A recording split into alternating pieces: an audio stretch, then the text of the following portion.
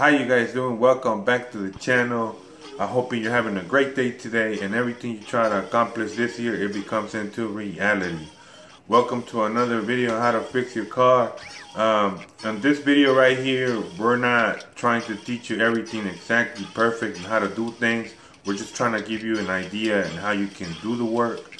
So please, if you're not a subscriber or if you just found us and just navigating to the channel and because you need information that we're about to give you, don't sit there and judge, especially if you're not a subscriber. Because at the end of the day, you guys don't help us do the work. And remember, I've been doing this for so long, I'm not gonna sit there and criticize everybody. So from now on, I decided if you're gonna talk smack on my channel and on the comments down below, I'm gonna leave it there so everybody can see it. So you can make yourself look like a fool because I'm done. Like, I'm not gonna argue with you guys no more. So I'm gonna let all the bad comments in there. I don't care anymore. Do what you wanna do. But if you are digging our channel and you wanna support us, go ahead and hit that subscribe button. It doesn't cost you anything. It's free. And other than that, enjoy the video. How you guys doing? Welcome back to another video on how to fix cars. Today we're working on a 09 Toyota Camry. We're gonna do all the suspension work on this car. CV axle, both struts in the front, inner and outer tie rod, ball joint. Okay. And also we're gonna do the brakes and rotors. All right. This is a Toyota Camry. I think it's a 2.4. It's a 2.5.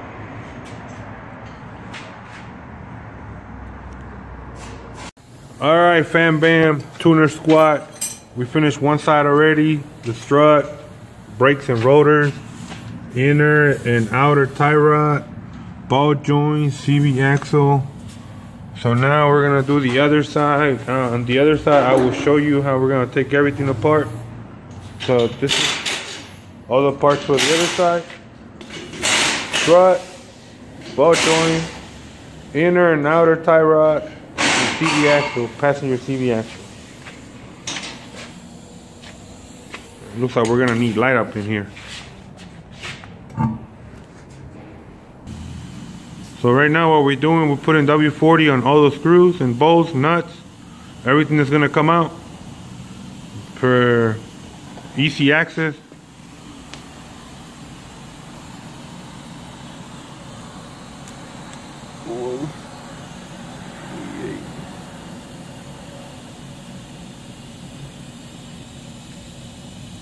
It is easier if you have a lift, but you can also do it on the ground. It's just gonna be a little bit harder. That's all it is, but you can get to it.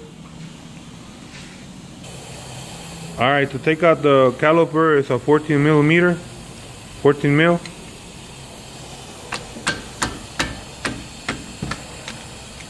Turn to the left.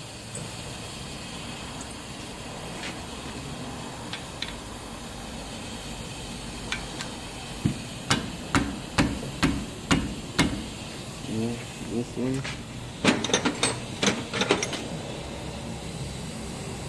Some, the 17. 17 to hold the back of it. Because the bolt just keeps spinning.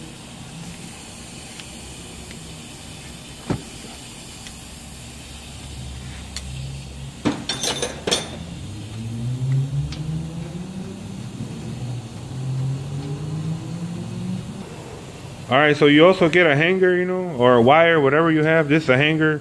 We've been using it for a while now. That's why it looks all messed up.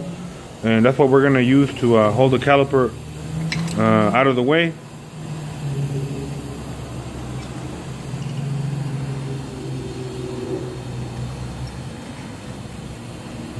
With all the struts and everything coming out, we gotta hook it up to there.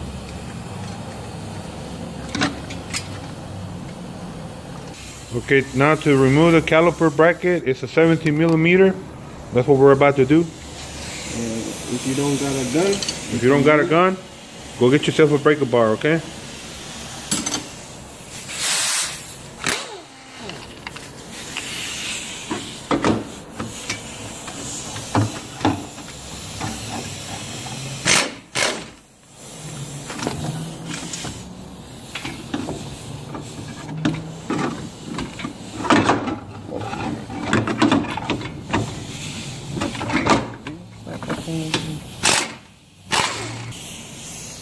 All right, now that we removed the uh, bracket, we're gonna remove the rotor.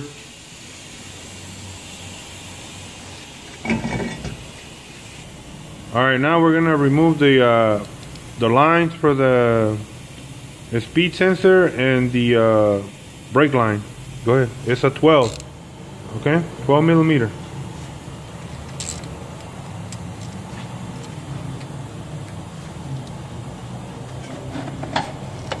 All right, now so the the bowl, the 12 point right there, it has a it has a a knot on there, like a like a little hit on top of the crown. So we're gonna strain it up so that way it'll be easier to remove it.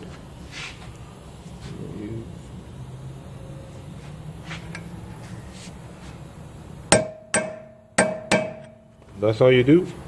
Now, now you need a 12 point socket. It's a 30, 30 millimeter 12 point socket. There, all right.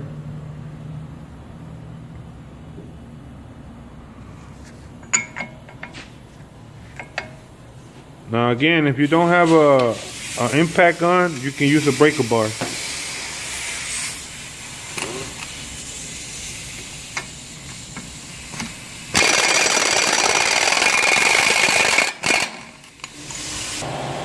So now you, uh, we're getting the cotter pin out of the castle nut from the uh, outer tie rod because we're gonna replace the tie rod too. So it's a 17 for the castle nut. It's out. And remember, we're not using the the outer tie rod, so we're gonna hit it with the hammer. You normally don't do that. But since we're not gonna use it, we're gonna go ahead and hit it. We're gonna replace the whole arm.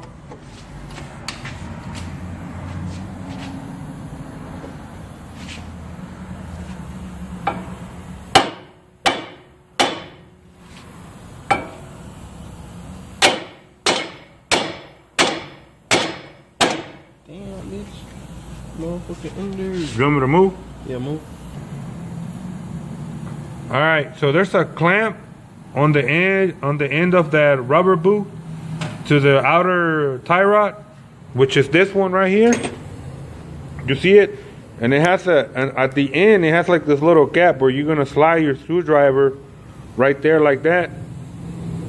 And then you're gonna pop it out like that. Okay, because I'm not gonna be able to show you that part. So that's how you do it though. Okay? That's how you're gonna take that little part back there.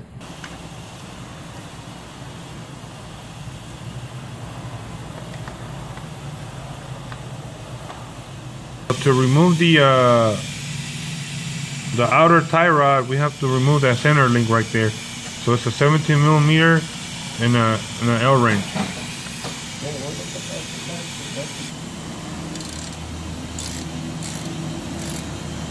So now to take the the strut, we're using a 22 mil with a breaker bar.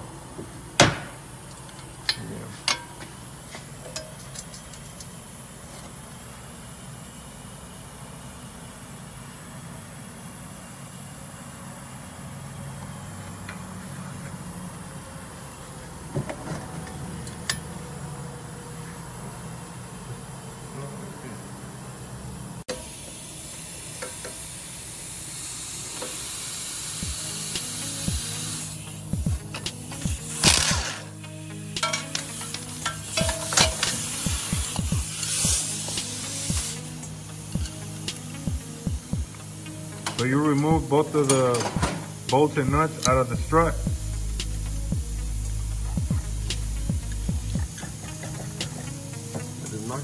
So now we're gonna remove the CV axle.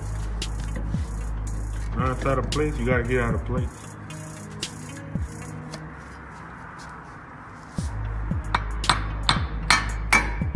Hitting it with the hammer is not gonna hurt it. Plus, we're gonna replace it so it doesn't matter.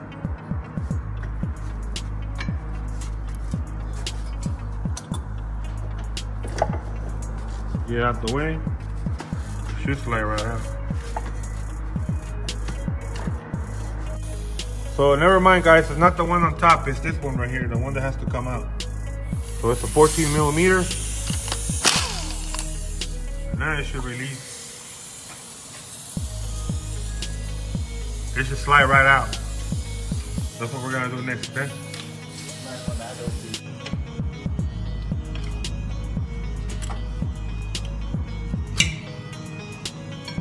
So you need to remove that clip. We already removed it. Just push it out of the way and it'll come right off. Push it right there in the ground. Put it right there.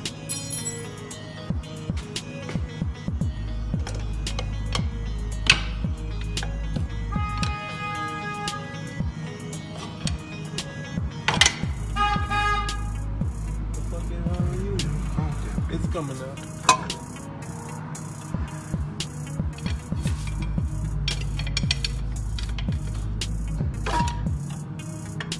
That's how it's gonna come out, guys. I think you got it out. You gotta just push it out, yeah. There you go.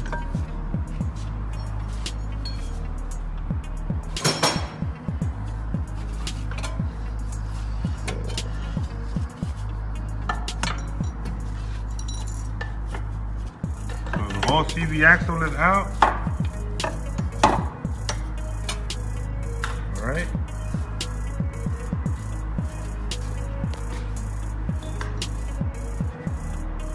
Now we have space to go ahead and get that outer tie rod. So now you guys uh, turn the steering wheel to the other side so the tie rod can come back out and then we'll have access to get it. Couldn't get it earlier because that axle was on the way.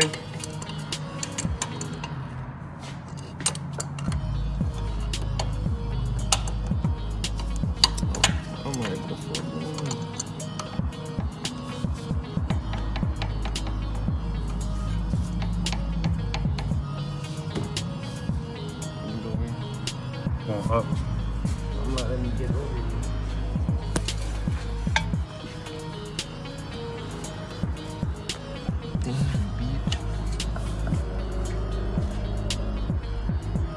Up.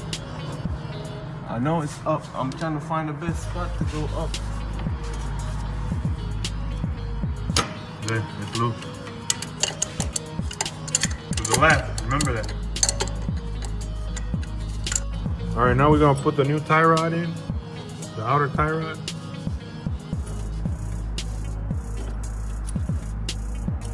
And you gotta make sure these going in between the grooves. Yeah, you gotta make sure those little two points are connected to the other uh, points over there.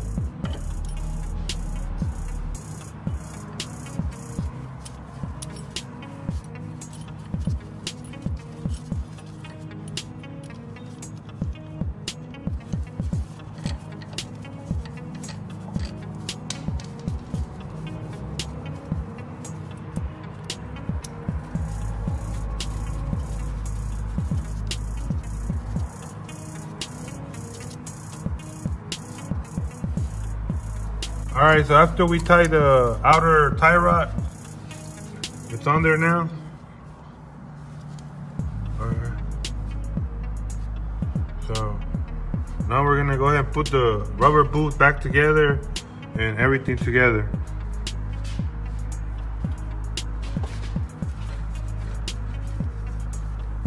Now, if you don't have that tool to pressurize the clamp, you can always use two zip ties, put them together and close the gap.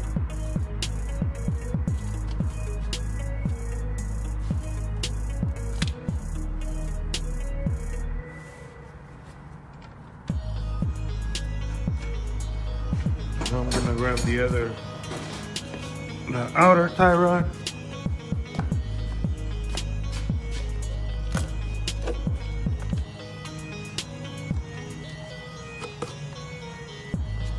So if you're new to the channel, please hit that subscribe button. Support the movement. We're almost at 600 subscribers, but the goal is to reach a thousand so we can start doing revenue for the channel. Um, we will really appreciate it.